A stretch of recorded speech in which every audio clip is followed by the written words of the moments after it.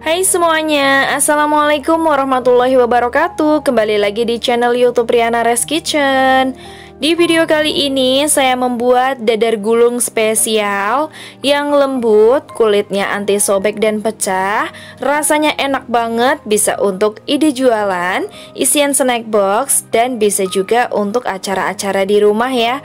Jadi untuk teman-teman yang penasaran bagaimana cara membuatnya, simak video ini hingga akhir, jangan di skip-skip supaya jika kalian mempraktekannya di rumah bakalan berhasil.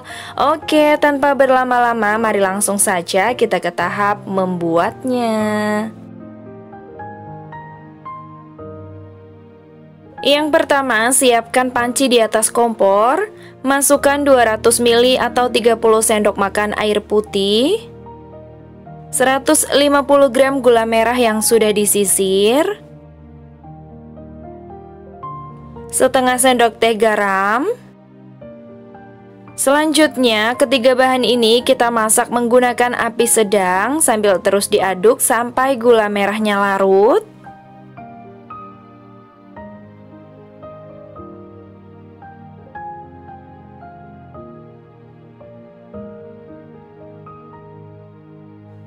Oke, ini gula merahnya sudah larut. Untuk selanjutnya saya akan masukkan 300 gram kelapa parut.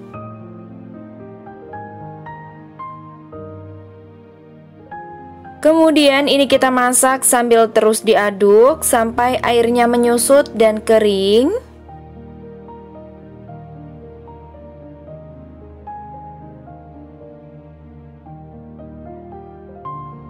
Nah ini setelah kita masak selama kurang lebih 15 menit Airnya sudah menyusut dan kering Bisa kita angkat dan sisihkan Selanjutnya siapkan chopper atau blender.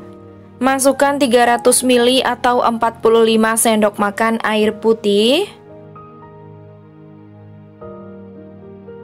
Satu butir telur ukuran sedang.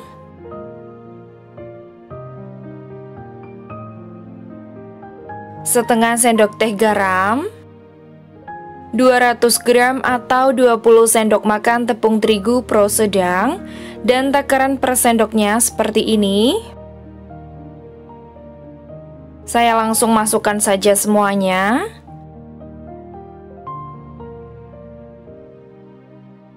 Lalu satu bungkus santan instan ukuran 65 ml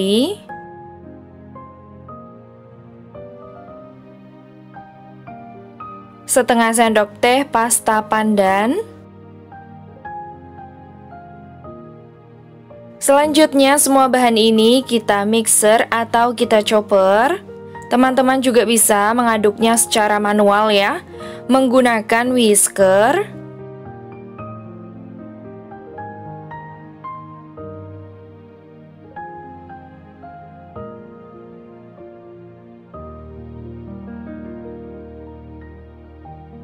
Nah ini adonannya sudah semua tercampur rata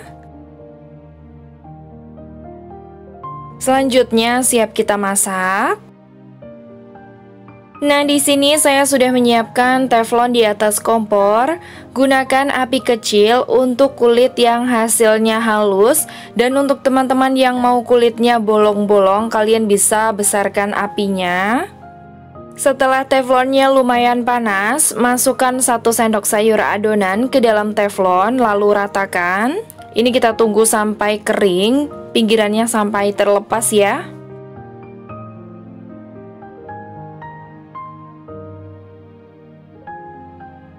Nah, jika pinggirannya sudah terlepas dan jika kita goyang-goyangkan seperti ini sudah tidak lengket, artinya sudah matang. Siap kita angkat. Dan lakukan cara yang sama sampai selesai. Masukkan kembali satu sendok sayur adonan ke dalam teflon. Tunggu sampai matang hingga kulit bagian pinggirannya itu kering dan terlepas dari teflon. Dan ini teflonnya tidak saya olesi menggunakan margarin sama sekali ya teman-teman. Oh ya, di sini saya menggunakan teflon ukuran 24 Sekarang saatnya kita goyang-goyangkan. Jika sudah terlepas, ini udah mateng. Dan lakukan cara yang sama sampai selesai.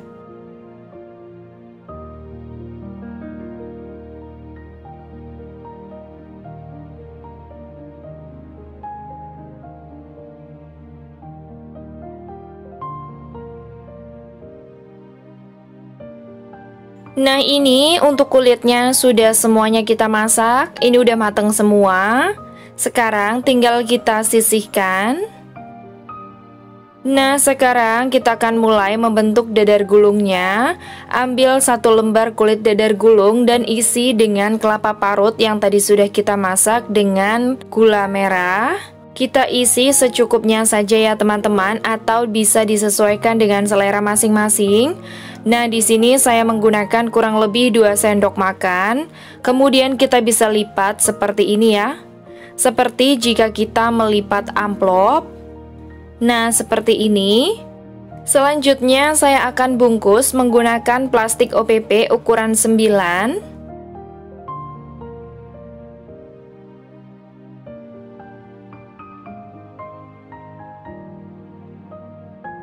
Nah, seperti ini. Cantik sekali ya. Kemudian saya akan beri stiker di atasnya atau di bagian tengahnya seperti ini. Oke, ini udah selesai.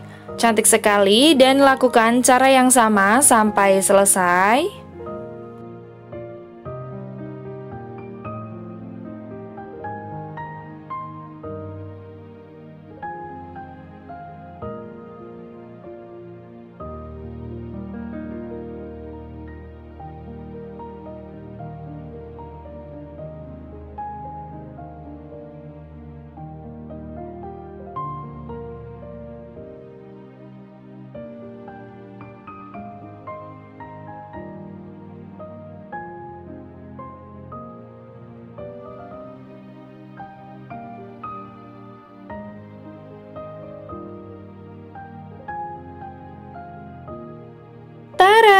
Ini dia hasilnya. Dadar gulung spesial dengan kulit halus, lembut, anti sobek dan pecah. Cantik sekali ya teman-teman. Dan untuk rasanya ini dijamin enak banget. Untuk satu adonan ini menghasilkan 14 piece dadar gulung ukuran besar ya teman-teman. Jika teman-teman menggunakan ukuran yang lebih kecil ini hasilnya akan lebih banyak. Untuk per piece-nya ini teman-teman bisa menjual dengan harga Rp2.000 sekarang kita cobain dulu, bismillah. Hmm. Rasanya benar-benar enak banget, manisnya pas, kulitnya lembut, halus. Pokoknya recommended untuk teman-teman di rumah yang mau mencobanya ya. Selamat mencoba dan semoga bermanfaat. Oke, terima kasih banyak untuk semua teman-teman yang sudah nonton video ini hingga akhir. Dan untuk yang baru gabung di channel ini, jangan lupa dukung channel ini dengan cara like, komen, share, dan subscribe. Jangan lupa juga aktifkan tombol lonceng notifikasinya Supaya kalian selalu update video-video terbaru dari kami. Terima kasih, wassalamualaikum warahmatullahi wabarakatuh. Sampai jumpa di next video